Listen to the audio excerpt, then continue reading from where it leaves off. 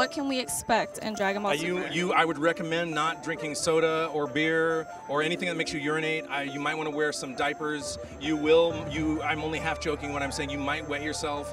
And if you're a Dragon Ball Z fan, I would gamble uh, about 66 to 80 percent of you will wet yourselves. It's so off the hook. I'm just looking forward for the epicness, man. I'm just, I'm, I'm just here for everything, every ounce of it, every bit of it. I'm just here for. Lots of Broly. yes. Yeah. Oh, okay. I'm super excited. There's So a lot of Broly muscles going Yeah. on, which I'm never upset about.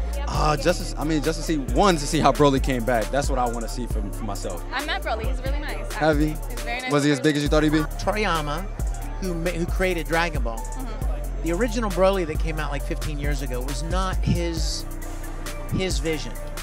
This movie is the creator's vision for this character.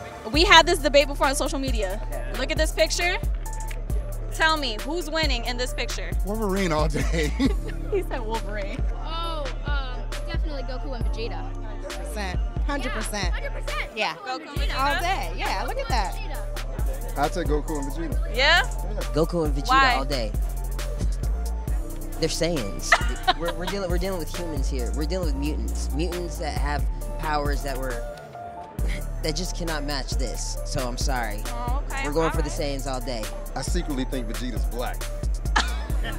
Vegeta is by far the best character in the series. I've heard that so many times. and it's not because I play him. It's it's literally because no, you can say it. It's because he plays it. well, it's, it's because I play him. No, people go, "Oh, would, would it be awesome if Vegeta was ever stronger than Goku?" I'm like, he's got something better.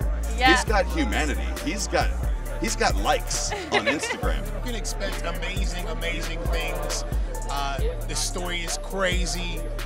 You gotta see this movie.